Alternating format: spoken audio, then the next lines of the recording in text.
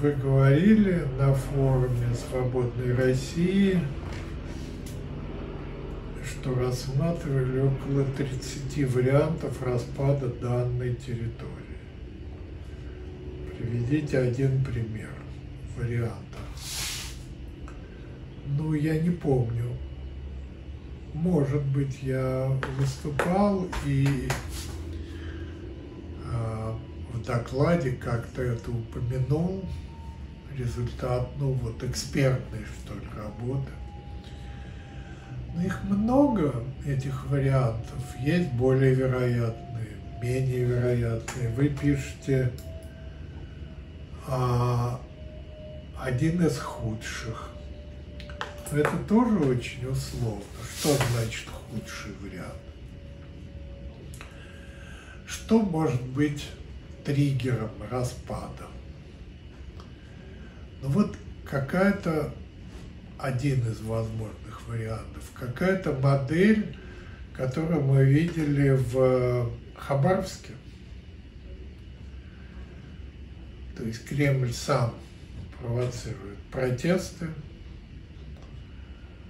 а губернатор, местные элиты начинают борьбу с федеральным центром. Вот как закончилось это в Хабаровске? Его арестовали, протесты продолжались. Ну вот представьте себе, что протесты начинают распространяться на соседние регионы, что там возникают похожие ситуации. А там должны были возникать похожие ситуации. В Новосибирске, в Омске, Томске, еще где-то. Навальный туда поехал, где его отравили. Он поехал именно с этой целью, для того, чтобы как говорилось, бороться со строительной мафией. То есть момент вот этого перехвата власти в, э, над бюджетом, его предварить еще разговорами о борьбе с мафией. То есть чтобы федеральным чекистам было проще, мотивированнее, что ли, захватить эти региональные компании строительные и бюджет. Но вот а, в нескольких регионах одновременно начинаются эти процессы. Понятное дело, что а, а, тут же происходит активизация э, в Чеченской республике, в Дагестане. Тут же автоматически происходит активизация в Москве. И митинги уже там не 15-20 тысяч, а думаю, что те же 100 тысяч. Там будут предприняты колоссальные усилия там, с помощью националистов, коммунистов сбить эти митинги. Понятно, каким способом, но они будут. А момент, когда загорается сразу в нескольких местах. Никаких а, сил подавления не хватит а, Кремлю. Ему придется идти на уступки, идти на соглашение. А каждый шаг соглашения – это усиление протестов. Это тоже известный факт.